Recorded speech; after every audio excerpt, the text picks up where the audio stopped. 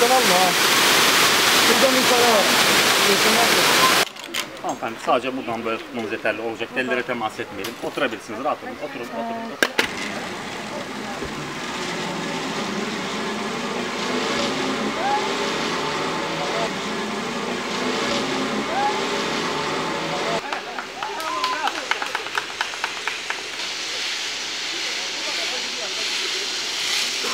Ee, bizim kendi yemeğimiz var. e, mıhlama dediğimiz Karadenizlerin yemeği. Yüzde yüzde 95'i memnun kalıp gidiyor.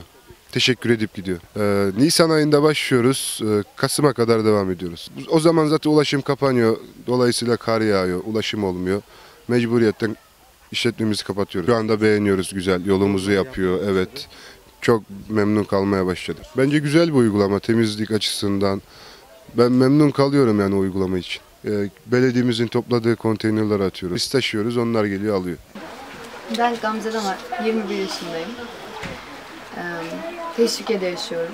Biz et üzerine daha çok yoğun ol- yani yoğunlaştırdığımız için restoranı et, masa, mangal, e, işte et ağırlıklı çalışıyoruz. Hizmette daha çok ön plana çıkmaya çalışıyoruz. Yani işte yemeklerden çok müşteri memnuniyeti daha önemli. Yani daha çok ilgilenmeye, işte daha çok sohbet etmeye çalışıyoruz.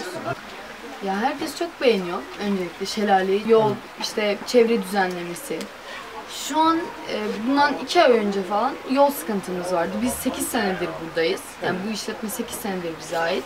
E, bunu, bu, bu zamana kadar hep yol sorunumuz vardı. Şimdi de işte çöp, çöp poşeti, işte bunlar için uyarılıyorlar falan. Yani güzel bir sisteme geçtik şu an. Yani bu birkaç ay içinde oldu bu değişimler. Daha öncesinde böyle bir şey yoktu. Sadece ücret alınıyordu. Ama şu an sistemden biz de memnunuz yani. İstanbul'dan, Gemlik, Gemlik'ten, Bursa'dan, işte uzak yani Ankara, Eskişehir oralardan daha fazla oluyor. Yani ağırlıklı olarak Bursa ama.